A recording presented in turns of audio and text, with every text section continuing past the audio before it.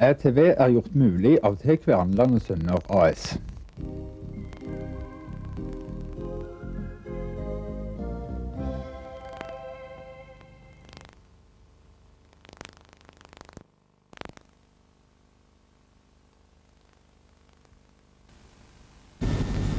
Gottfred Borghammer, forfatter og eh, Hva er du egentlig mest kjent for? Det er vel egentlig lende eh, hos folk flest, er det ikke det? Eh, ja. Det begynte å bli skulpturene som har Ja. skapt en del interesse i byen. Du har nå kommet med den 15. boken din. Og uh, jeg får gratulere deg med det. Ja, det, det pussige i går. Jeg traff en mann Eh, Kielland har gitt ut så mange bøker som du har, så du er den, den som har gitt ut de fleste Stavanger-bøkene. Nei, det er ikke dårlig. 15 bøker i en alder av 85 år. Når kom den første? Ja, det var i 19, det var under krigen 1941. Og den eh, ble gitt ut på Dreyers forlag. Eh, og, eh, og den danner grunnlaget i grunnen for det som eh, den nye. Altså den, den, den boken heter 'Fra spøk til alvor', heter den første boken. Og nå har jeg funnet ut at den, det er jo ikke noen som husker den boken lenger. Den, eh, den, den, den forsvant, altså ble sendt til Oslo, hele opplaget, praktisk talt. Og dermed så var det ikke så mange stavanger som fikk se den i det hele tatt. Eh, Men eh, så kom jeg på at det stoffet der kunne vi jo ta og trykke om igjen på denne måten. Men det, det, det første, den første boken der var det spøk pluss alvor. Spøk. Altså det veksler hele veien. Så tenkte jeg nå skal jeg ta vekk alt det alvorlige, og så bare ta det morsomme. Og det er altså gjort nå. Derfor står det mer spøk enn alvor. Den første den utkom da helt i starten på krigen. Hvordan fikk du det til? Ja, det var en ting med det. På den tiden var det ikke bøker som kom ut nesten i det hele tatt. En skulle helst ikke skrive bøker da det skulle være streik for. Så, så det, det var behov for, for, for lesning, antagelig. For et år etterpå så ga jeg ut en ny, en roman. Og den ble utsolgt over hele landet. Bokhandlene fra hele landet skrev inn og ville ha flere, flere bøker. Jeg hadde bunker, men jeg kunne ikke så søkte departementet om å få mer papir. For det var, det var, det var rasjonert papir. Og jeg fikk avslag eh, i, i departementet, så jeg kunne ikke trykke nok på nytt opplag. Så den boka kunne jeg ha tjent penger på. Men du fikk ikke papir til å trykke nytt opplag? altså? Nei, jeg fikk ikke penger. Og kanskje var jo det godt òg. Det var ikke noen storartet bok. Så den tror jeg ikke kommer til å gi ut i, reprise. Bok nummer 15 den har fått veldig bra pressemottak. Her ser vi artikkelen i Stavanger Aftenblad. Humoristisk intermesso. Og eh, i uh, RA, Rogalands Avis, der har vi Gottfred med gullpennen. Og eh, i bladet Mortepumpen der har de tatt med hele forsiden. Og eh, alle journalistene er veldig begeistra for dette. Det er noe som eh, virkelig folk må kjøpe til jul, dette. Ja, etter min mening burde det være det. Men det er kanskje det at de andre bøkene der er det en del alvor i. Altså, det, den muntre tonen, den går igjennom det meste, altså. Men selvfølgelig er det Det var ikke bare spøk når vi vokste opp i den vonde tiden med arbeidsledighet. Så det kunne ikke bare bli, bli, bli, bli morsomt heller der. Men det var ting som var viktig å få frem for efterslekten. Men, men, men det er det morsomme som har, eh, som har glede med mest til å lage. Jeg har jo en del eh, løgne bøker òg. Den der eh, om, om når jeg var på interrail. Den er ganske artig, den boka. Og, og så er det alle kan snufle. Det er bare, bare løye på stavangerdialekt. Så det, jeg har jo vært borti det òg, men en del alvor. Når var det du sa du startet din skrivekarriere? Ja, jeg har det helt fra jeg jeg var tolv år. Og da skal jeg gjengi noe som står i denne her nye boken. Helt fra jeg var tolv år hadde jeg planer om å skrive bøker.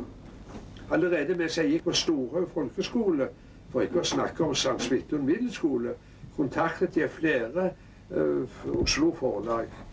Og fikk seriøse svar. Naturligvis negative, men likevel.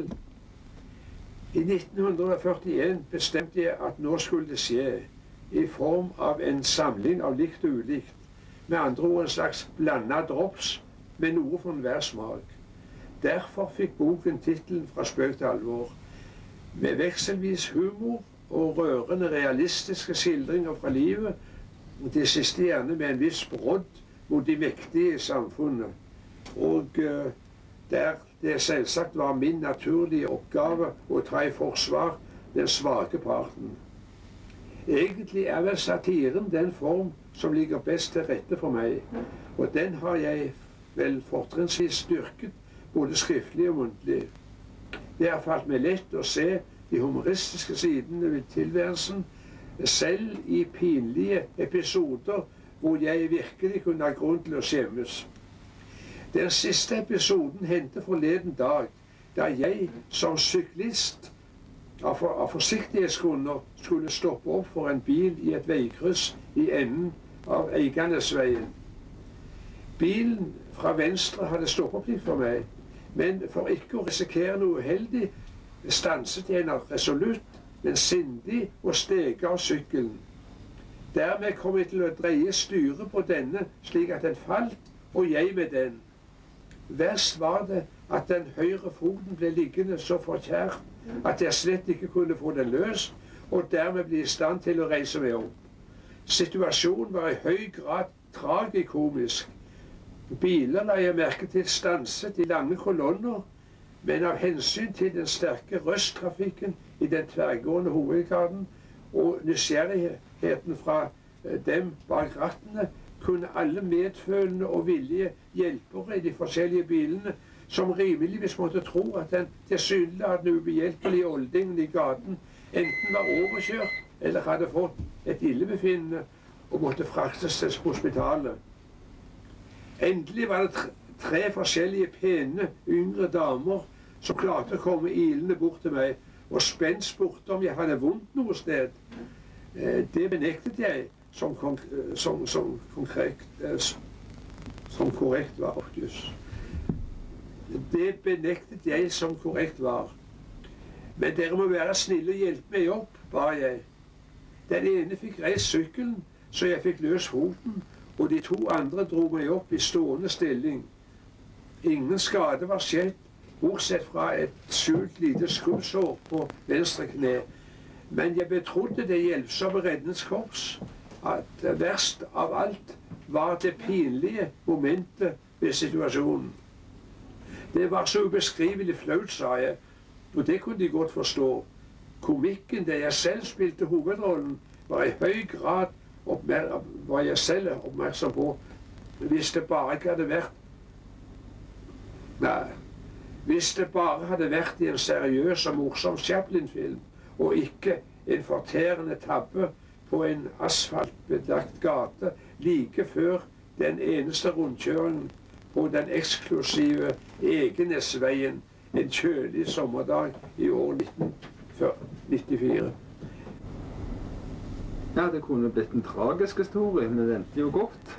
Ja, jeg har mange sånne tragiske historier med, med sykkelen. At et under jeg lever, det kan vi godt se. Og de kommer til å skildre en av, av, de neste bøkene. For, for, for det kunne vært hatt døden til følge. Men ikke, nå er det morsomt vi skal snakke. Det er ikke, det er ikke det sørgelige. Men dette var tragikomisk, det der det, hvor alle folk sto og så på meg når jeg ikke kunne komme løs fra sykkelen. Jeg tror jeg skal lese ifra, ifra den uh, i min tenåringstid. Da var jeg nokså interessert i det som han, Johan Herman Wessel skrev. Og et, et, eksempel på det er, er et dikt som jeg har kalt for 'Kjøpmann Grønn og Sønn'.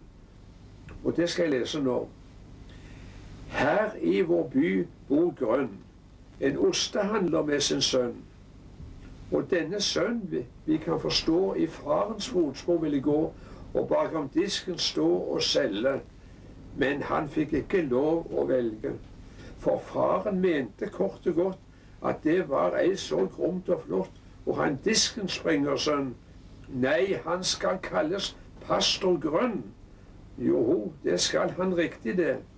Om noen år skal folk få se en stilig mann i prestekjolen forkynne ordet ifra stolen. Men gutten stakkar bar seg ille og sa til faren, søte, snille, du vet så vel jeg heller ville bli handelsmann som deg, min far. Men denne slo i bord til svar, du skal bli prest og stå på stolen, og gutten måtte gå på skolen. Dog håpet brass for kjøpmann Grønn. Fortuna driver ofte gjønn. For gutten viste seg å være en dåre som ei kunne lære sin lekse i den lærde boken. Til hver eksamen fikk han noen. Til slutt sa skolens rektor stopp, og fyren måtte gi det opp. Moralen blir med andre ord vi går i Johan Wessels spor. Man suppe på en spiker ei kan koke. Langt mindre får man idioter kloke. Det var det.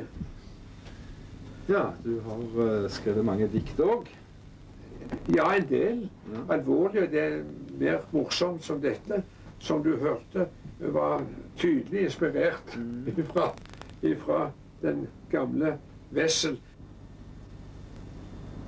Altså, i den første boken som jeg, som jeg har eh, tatt en del av, disse humoreskene, der er det jo eh, Jeg skal nevne noen eksempler der. Den ene heter Pusekatten. Og det er det som går frem på første siden. Det er en pusekatt. Den ble illustrert, den første. Og det var en historie som foregikk på julaften, da jeg skulle ta meg av en liten hjemløs pusekatt. Og så kommer da denne som eier katten, og sier det er jo min katt du har. Det endte på den måten. Den katten som han sa måtte gå og ta livet av, den var hennes kjæreste eiendom. Så det, er årsaken til den tegningen på forsiden der. Så er det forskjellige små episler. Det er elleve øre. Det er en episode fra Breiavatnet. Og eh, radiokonsernet lager skandale. Han ble innesperret. Han skulle holde foredrag i radio. Så var han, så var han, kom han eh, skulle sitte og lese i friluft på manuskriptet. Og så viser seg at eh, porten var stengt der på det området, så han ikke kom tidsnok. Og de måtte sende musikk istedenfor. Og så var det da en, en, historie fra, fra uh, byrået. Hastverk. Den er ganske artig. Denne mannen som bruker en lang tid å forklare det. Og han hadde travelt han skulle reise, så han kunne, til slutt ble det ikke tid til å lage hele eh, kopien som han hadde bedt om. Og så var det en underlig forelesning. Den er jo artig. Den har du sett på litt. Grann. Eh, Det var en mann som reiste rundt. Han var forbryter og fortalte om sitt liv. Det gjorde han oppe på Samhold i det store lokalet. Avertert i avisen. Eh, Og det kom 30 mennesker. Og den, den, eh, den har gjengitt et, et, et, et, ganske Ja, du kunne tenkt deg å lese den? Jo, det, det, det, det er ganske artig, så jeg skal prøve å lese noe av det iallfall. Jeg skal gå rett lenger ned i i-. Det var et mange i Aftenbladet forleden som hadde denne ordlyden. Kom og hør. Den internasjonale bekjente reisende Viktor Larsen Sand holder foredrag her i byen torsdag aften klokken eh, 20.15 i Samholds store sal. Hans levnesløp i og utenom fengslene, så vel her i landet som i flere andre land, vil forklares på en gripende måte, samt de underlige opplevelser i hans liv. Ingen vil angre på besøket, som er av de sjeldne. Entré 50 øre, alle velkommen. Jeg har bestandig hatt sans for det sensasjonelle, så det er i grunnen litt av en tragedie at jeg var en ukjent størrelse for Dagbladet i den perioden av mitt liv da jeg ikke hadde sagt nei til et engasjement der i gården. Nå kan det være just det samme. Nok om det. Hva nevnte annonse angår, vil de nok være enig med meg i at det hele smakte litt av sensasjon. Og som jeg nettopp har gitt uttrykk for, er jeg ikke den som har eh, latt slikt gå min nese forbi. Om lag 30 kvinner og menn, hvorav minst tredjeparten synlig påvirket av alkohol, har plassert seg på de primitive benkene i samholdssal, der kveldens foredragsholder trer frem på podiet. Det er en litt liten, tykkfallen, skallet herremann, rolig i sine bevegelser og helst godlynt, å se til. Jeg sier sannheten så langt jeg formår, er de første ordene som kommer over leppene hans. Om jeg lyver litt, så får det ikke hjelpe. Mer blir foreløpig ikke sagt. Han snur seg vekk og forsvinner inn i siderommet. Litt etter kommer han tilbake. Jeg har bronkitt, mine ærede tilhører, og er så svak i stemmen at jeg håper dere holder kjeft mens jeg taler. Billettmannen som mangler atskillig på å være edru av Men klokka er ikke halv ni ennå. Jeg vet det, men gå du til ditt arbeid. Det til publikum. Unnskyld. Foredragsholderen går atter inn i siderommet. Han blir imidlertid snart kalt ut igjen av et, en utålmodig tilhører og mottar smilende og bukkende forsamlingens applaus. Han er scenevant, lar det til, har opptrådt for tusener av mennesker både i Sverige og Norge, forteller han. Her i byen talte han for 32 år siden. Det var i understøttelsens store sal, det sa han, alt stolt, alt vemodig. Jeg er født på en hei i Sand i 1869 og begynte min karriere som gjetergutt. Min skolegang var ikke rar. Vi hadde omgangsskole den gangen, sa de. Som 14 års gammel gutt kom jeg til Stavanger, der jeg begynte i bakerlære hos Larsen på Holmen. Jeg tenkte den gangen ikke mer på forbrytelser enn de fleste av dere mine tilhørere gjør nå mens dere hører på meg. Men så kom jeg sammen med jøden i glasskassen og stjal. Jeg ble dømt til 45 dagers fengsel i celle nummer 13 på Lager. Det var vinteren 1884. Annen juledag skrev jeg i fengselet en sang som Alexander Kielland trykte gratis for meg. Sangen var ikke god, nei da, men trykken var finfin. I 1886 kom jeg til Kristiania. Her ble jeg snart hekta for tyveri. Etter innsperringen dro jeg over grensen til Sverige da jeg ble fire år. En tid var jeg enda karuselleier. Ja da. Men så stjal jeg og kom i fengsel i Malmö i tre måneder. De må unnskylde at jeg av og til bruker noen svenske ord, men jeg taler mye bra svenska. Kommer tilbake til Norge igjen, ble jeg løytnant i Frelsesarmeen i Hønefoss. Men armeen var for streng for meg. Jeg ble sendt hjem, og her fikk jeg hyre med Cornelius Olsens båt, Hanna av Stavanger, som forliste. De ville sende meg til New York, men jeg ba om å få komme til London i stedet, og det fikk jeg. I London ble jeg satt i fengsel i 1889 for tyveri. Jeg tigger aldri, men stjeler hver gang det er nødvendig. Jeg erkjenner at jeg er en skurk, en tyv, en svindler. Skulle jeg fortelle om alle skurkestrengene mine, ville det bli fælt. Det er kjedelig å være på en slik bane som jeg, men skjebnen skal Gud i himmelen skjenke oss. Jeg er ikke religiøs, ingen hykler, men jeg tror på Gud.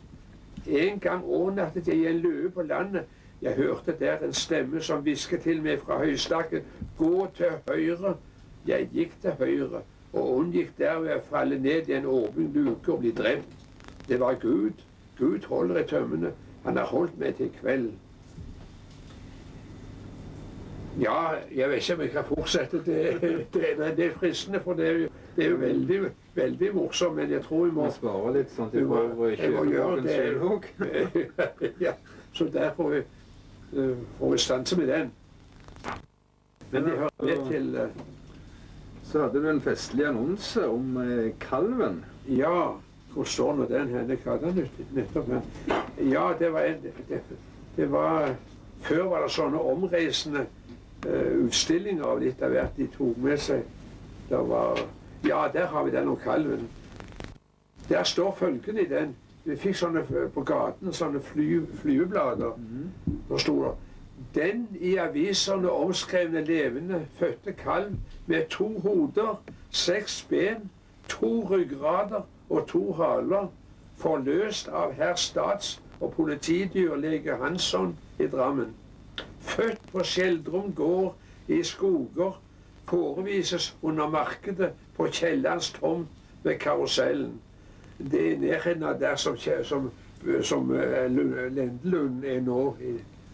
Er, så der var det altså karusell, og så var det sånne ting som de viste frem for publikum. Det var det som ble kalt for tivolitomten?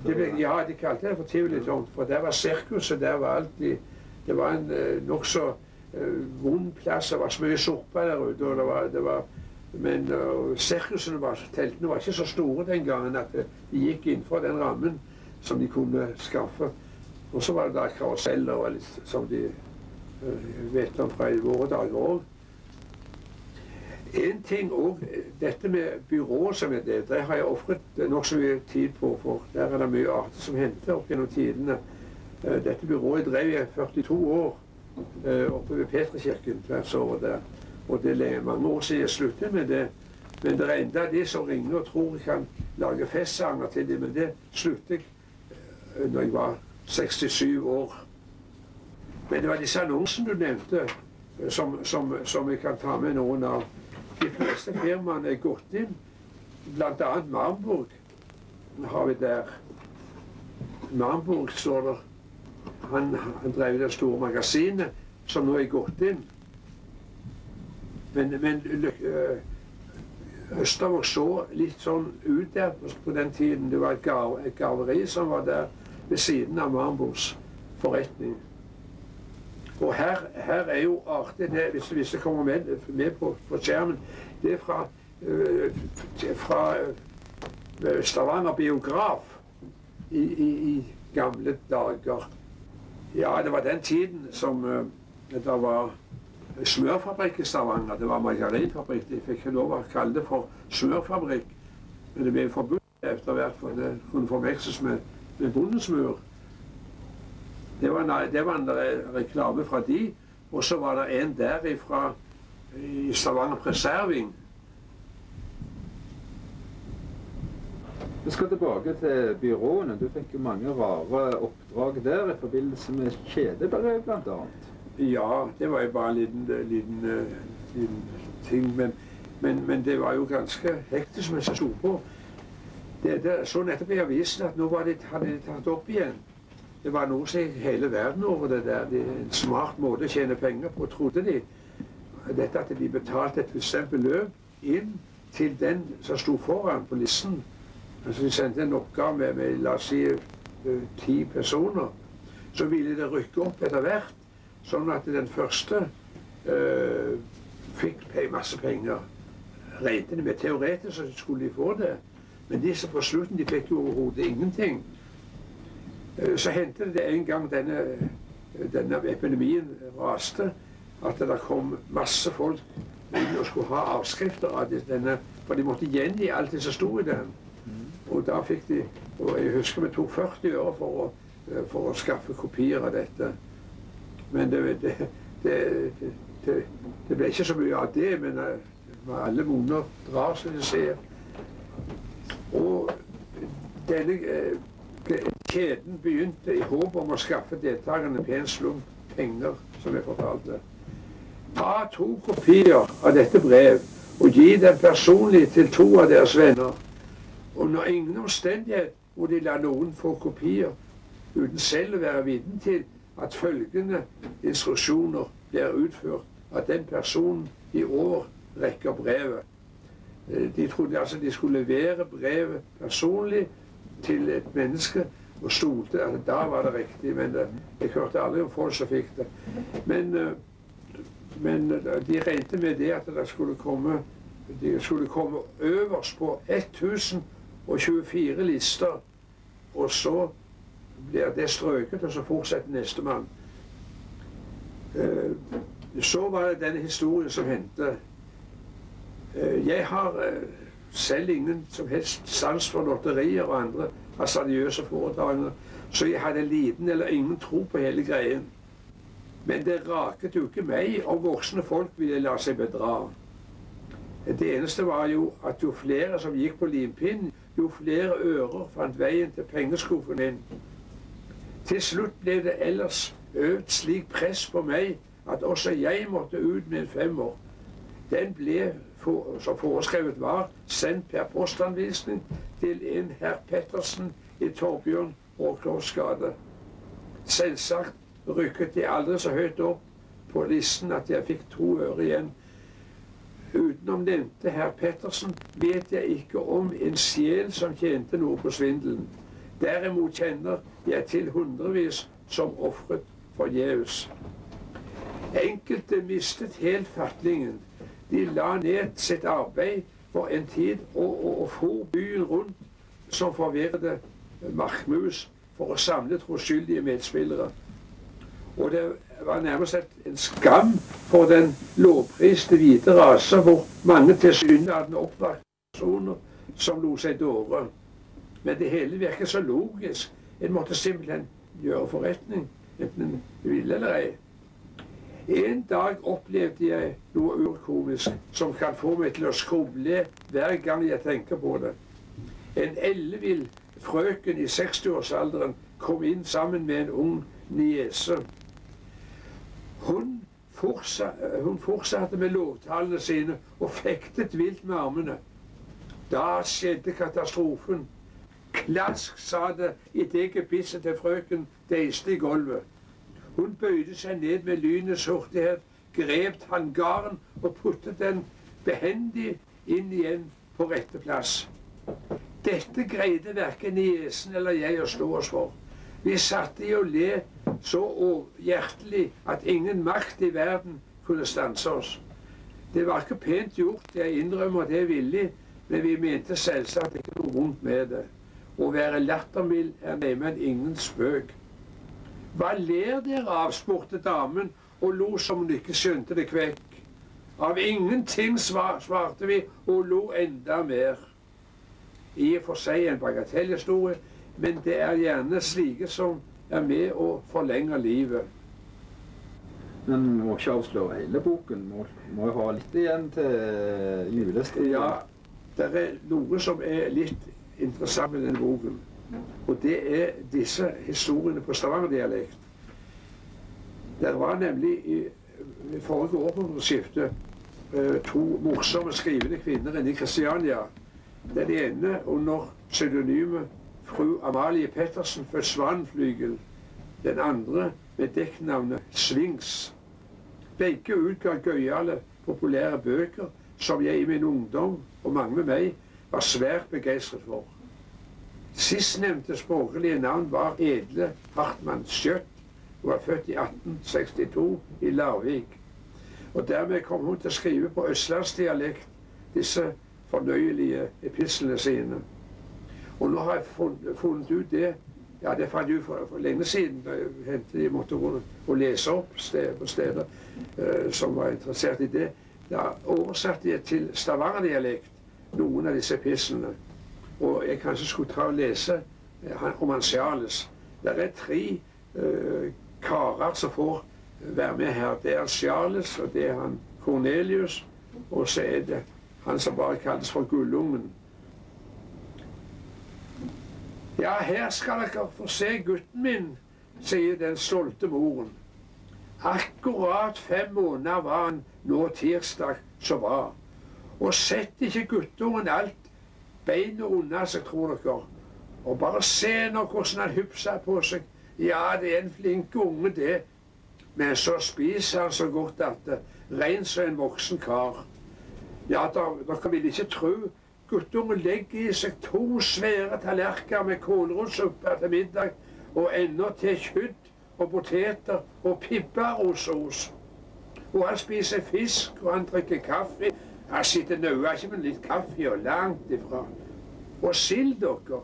Jøss, er ikke guttungen så galen etter sild at øynene hans står stive som pinner på han om lørdagen når det er sild og grøt? Og han fekter og maser med både armer og bein, og, og, og, synes ikke at han kan få det fort nok. Og flesk, dere. Han holder de tjukke fleskebitene så trofast i hånda som en kar, og putte i moen så fort så fort Ja, det går hvor sette olje lyn. Ja, frisk han Charles. Han har aldri feilt så mye som bak på hånda mi. Ja, litt magesyke nå og da. Vet dere, det skal jo båten ha. Men eh, det har ikke noe på seg. For det som skal ut, det må ut. Forkjøla han Charles for det om at han nyser. Vet dere ikke at det er de friskeste båtene de som nyser? Nei, Charles eh, har vært frisk han helt fra han kom til verden. Og det var ennå til Ja, dere kan ikke tro så klein og liten han var den gangen. Ja, hun sa det, jordmora, at det var rent et under at han levde. Men se på han nå, ja. Da kan dere se hva maten kan gjøre. Han hadde det med for en tid siden. Han var ikke god for til å spise. Men så begynte jeg å legge fadost på skjevene hans. Og da skulle dere tro hvordan, hvordan det gikk ned. Ja, han fikk, ikke, han fikk en appetitt, guttungen. Og så får han bare nysilte melk, vet dere. Og bryst ved sida av. Så han gir sannelig ikke noe nau. Nei, jeg har ikke visst av og hatt ei eneste urolig natt med han, jeg.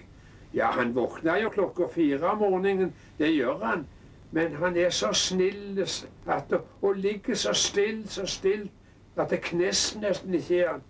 Når han bare får lov til å dra meg litt i håret da og da. Han tar et og annet hårstrå om gangen, og så drar han til. Og det synes han er det beste, den beste moroa han kan tenke seg til. Ja, Charles er min gutt, det. Men hele natta sov han så han rent snorker. Og når han våkna litt, så bare puttet tytten i munnen på han. Ja, den tytten sin er han vel glad i. Se bare hvordan han, han, han ler. Ja, han, han skjønner allting. Han er rent omframmet, den pjokken. Han er mest som en gammel mann. Ja, du Charles, du, du er ikke noe glad i tytten din, er du vel? Skal mamma ta den ifra deg, kanskje? og gi den til den dama der borte. Nei, det, det, skal jeg slett ikke. Tytten er din til odel og Hva var det jeg skulle ha sagt? Jo, nå skal dere høre. I forbindelse med tytten så, så, så, så pleier jeg å tygge en kavring og blande med litt sukker. Og legge den i litt ei fin fille og dyppe den i litt søt fløte. Og bare stikke den rett i munnen på den og da roer han seg så godt at eh, Ja, Charles er min gutt, det. Se bare på den frua som går der borte med den vesle pynta pysen sin. Bare se hvor bleik og klein og tander han ser ut. Ja, fine folk, de svelter ungene sine mange ganger. De er så redde for å gi dem mat. Ja, jeg vet om ei krum frue som hadde ei tulle så bare så døde bare fordi at hun fikk for lite mat i seg. Ja, er ikke det både synd og skam? Dere folk som har flust opp med alle ting. Nei, de er rent så galne mange. Men hva skal de leve av, de stakkarene, når de ikke har mat i seg? Maten er jo halve føa, som de sier. Nei, ikke bytter jeg meg mitt gudlabaden imot han bleikfisen der. Nei, ikke om jeg fikk 1000 kroner på bordet. Nei, han Charles er min gutt. Han er gutten i røyken, han. Og aldri er han redd for fremmede. Nei da. Det som skal være allting med han Charles. Ja. Vi får jo bare håpe at eh, folk eh, stormer til bokhandelen og Ja, kjøper denne ja. boken til, til julepresanger. Ja, det får vi virkelig håpe. Og det står gullungen min, og, og, og som tyrannen. Det er òg en mann som uh, som ikke er noe særlig kvinnfolkvenn, for han skjeller de ut etter beste uh, fasong. Så det er litt av hvert, både på dialekt og på og for Jeg holdt på å si for alvor, men det, det Det er mer spøk enn alvor alle Ja, det er det iallfall. Det kan jeg forsikre. Ja.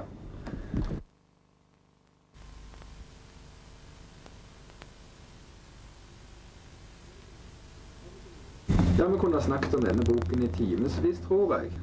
Men uh, vi skal over til noe helt annet nå. Du har med deg en ledsager, og han skal du få lov å introdusere sjøl. Så jeg bare reiser meg av gårde. Right. Så får vi si velkommen til ledsageren. God dag, god dag. Ja. ja. jeg kjenner jo deg fra, fra tidligere at du, du ser ikke ut som du er fra noen jærbu, og det er du ikke heller. Du er fra Ecuador, eh, men du har bodd på Jæren i mange år nå. Ja. En norsk statsborger og, og, og gift med ei norsk holdt på å si bondejente. Men hun er ikke akkurat bondejente heller, men hun bor på Bryne. Ja. Ja, der har dere nå kjøpt hus til og med. Og, og han har med seg gitar og, og, og, drakt. Eh, sånn at han ser ut som en sånn innfødte fra Ecuador. Ja. Jeg har hatt han en gang med før på, på et radioprogram, så jeg kjenner han jo. Og, har, var til og med toastmaster i hans bryllup for noen år siden. Så jeg kjenner han jo godt sånn. Og nå Og du heter Andrés Cusme Seveno. Ja, Andres Cosme Seveno heter han. Og eh, det heter han i Norge òg. Ja, Andreas eller Andrés. Ja, det blir Andrea, Andres heter han på, på utenlands, men Andreas sier det vel på Jæren. Og han er kjent på Jæren. Han synger både her og der. Og har til og med spilt på, på, På fjernsyn. på fjernsyn i Ecuador. Og der har han familien sin. Jeg tenkte i grunnen vi skulle lagd en historie en gang om deg. Fortalt om din barndom og sånn. For det var litt av hvert i barndom du kunne fortelle om. Men det skal han ikke gjøre nå. Han skal gi en prøve på disse latinamerikanske sangene sine. Og jeg- må, jeg må nesten si det selv, Du har en gang lagd til og med en sang som du har tilegnet meg. Ja. Komponert sjøl. Vil du begynne med den, eller skal vi begynne med en annen? Ja, den kan vi ta litt senere. Ja, litt senere, ja. Forlatelse. Akkur- Akkurat nå tenker jeg skulle ta en sang fra Mexico, så eh, kjendis her også. Eh, Ja. Den heter Cielito Lindo. Ja, fint. Es el lunar que tiene cielito lindo junto a la boca. No se lo des a nadie, cielito lindo que a mí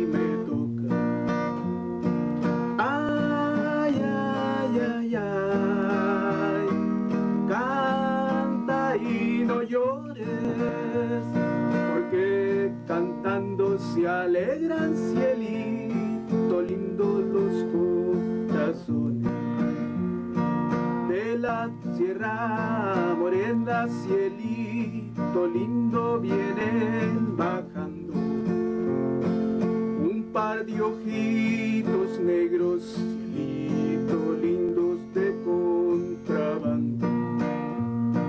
Ay, ay, ay, ay, canta y no llores, porque cantando se alegran cielito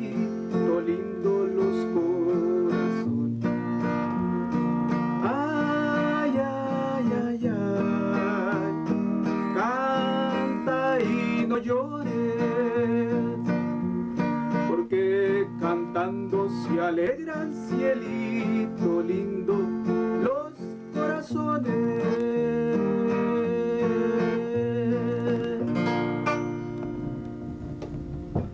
Men nå skulle vel klappet. Det, det er bare én som kan klappe her.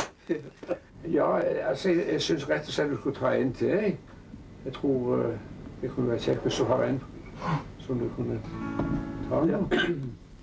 Den sangen eh, heter María Isabel.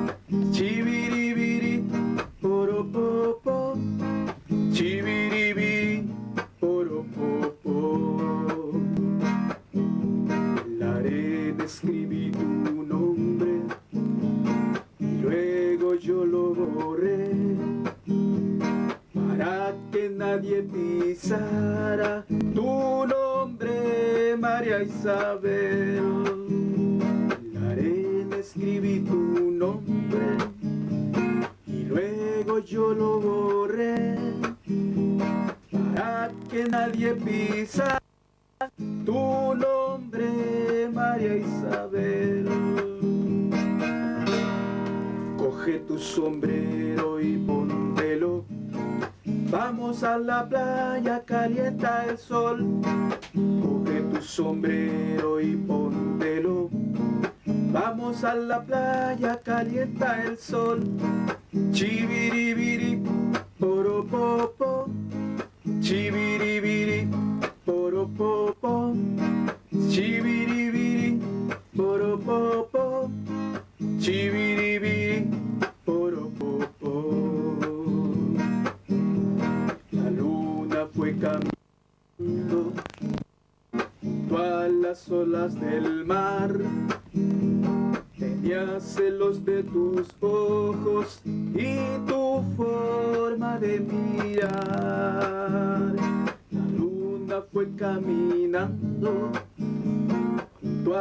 solas de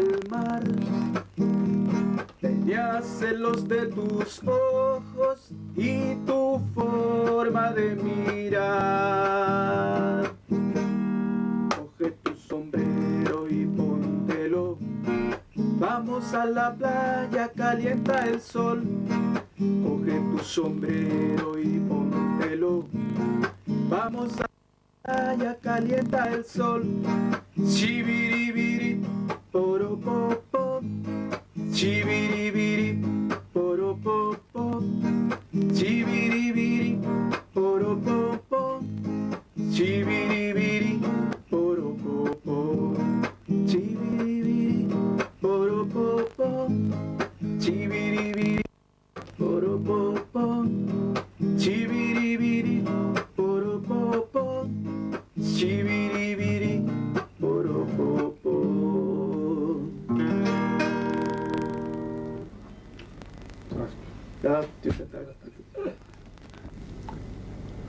mange takk for den forestillingen. Vi skal nå foreta et eh, eksperiment. Vi skal selge denne boken. Et begrenset antall. Og eh, valgfritt så får du en av disse tidligere utgivelsene. Fortell litt om de. Ja, den ene er jo, er jo uh, iallfall noe noe spennende. Det skal være en grøsser, den ene der. Det heter, heter to repriser. De har jo tidligere vært trygt, men, eh, men eh, de, eh, de er litt interessante. For så vidt. Den ene er den der siste man setter sluttstrek, den er faktisk bygget på forhold som ikke er så langt ifra oss sjøl her i Stavanger. Men det er jo kamuflert nokså mye. Men det skulle visst mange Men det har ingenting med min familie å gjøre. Det, det står 'jeg', altså, men det, det er ikke det. Men eh, jeg sier det jo og forordet at det, den første, den vil jeg ikke garantere for at jeg ikke har noe med i, som har. Og den andre, den er jo òg Det er folk og forhold i gamle Stavanger. Og det handler om all mulige ting. Du ser det svære landet med, med, med, med gamle Stavanger-minner og, og, og jul i Stavanger for 125 år siden. Og, om borgervevningen. og, og, og gatebelysning i gamle dager. Og pålysning i Stavanger i gamle dager. Og, og de gamle kinematografene. Altså, Jeg kunne jo fortsette her nå øh, i det uendelige.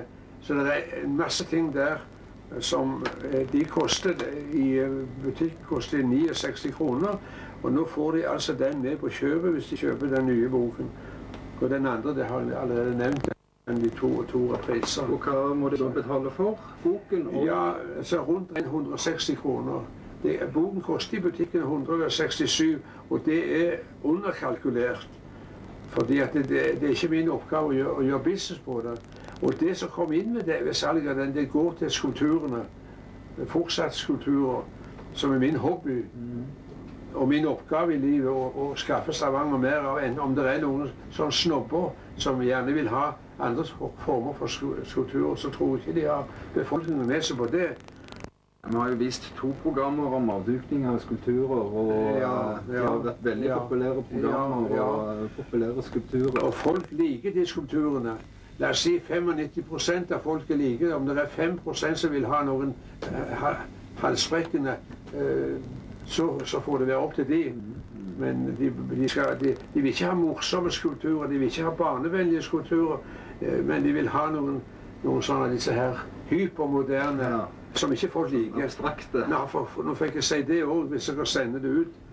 Må det være Vi tar sjansen på det. Vi tar Ja, sjansen på det. Men som sagt, altså, hvis du kommer her til RTV, eller ringer oss mellom 10 og 16, så får du boken 7 kroner billigere. Du får den for 160, og du kan velge en av disse to tidligere utgivelsene gratis på kjøpet. Det er begrenset antall, så det lønner seg å være raskt ute. Jeg vil gjerne knytte til det at jeg har sagt at 50 kroner av hver bok skal gå til, ETV for den glimrende eh, oppgave de har. det. Det er symbolsk, det er ikke noe, det er ikke noe svær kapital av det, men allikevel så er det en støtte. Det er støtte, altså. Å få boken ute det er godt.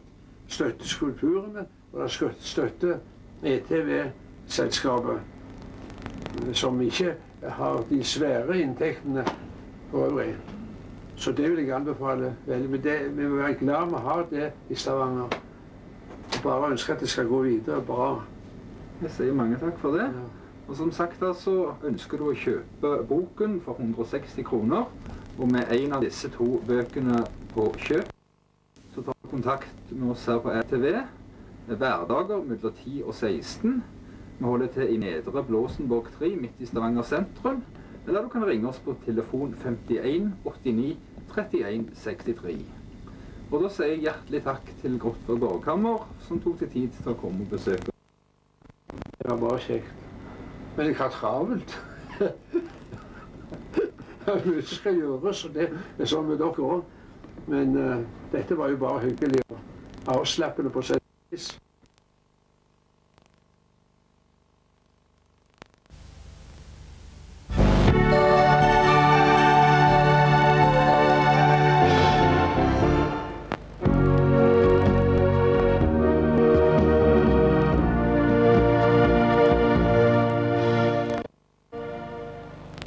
Er gjort mulig av T. Kverneland og Sønner AS.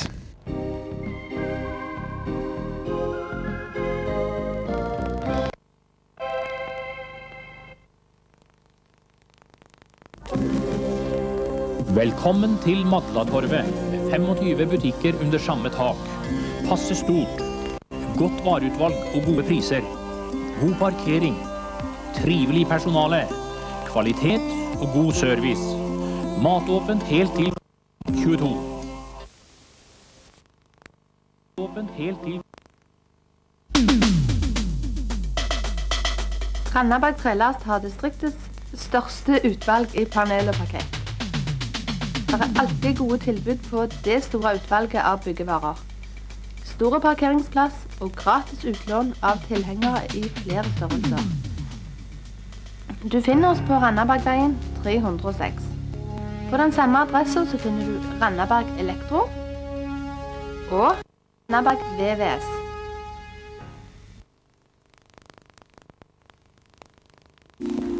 Byens rimeligste videoutleie. Kun kroner 15 per film, også nyheter. Metro, radio og TV. Verksgade 15. Nærmeste nabo til Landsbanken. Kun kroner 15 per film.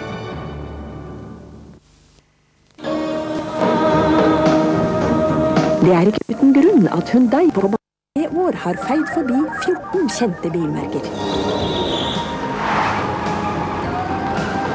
Nå lanserer vi Hyundai Accent, en moderne og sikker familiebil med tekniske løsninger og du ikke forventer til den prisen.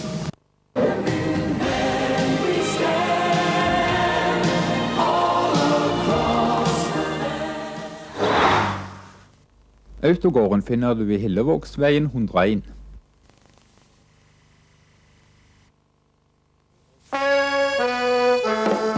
T. Kverneland og Sønner AS leverer elektrotaljer produsert på Jæren, samt eh, traversystemer og svingkraner. Land og Sønner AS, din lokale produsent og leverandør.